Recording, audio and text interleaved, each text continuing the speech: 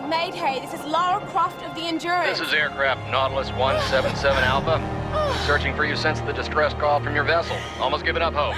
So had we. Got your approximate position, but we could sure use a visual. I'll figure something out.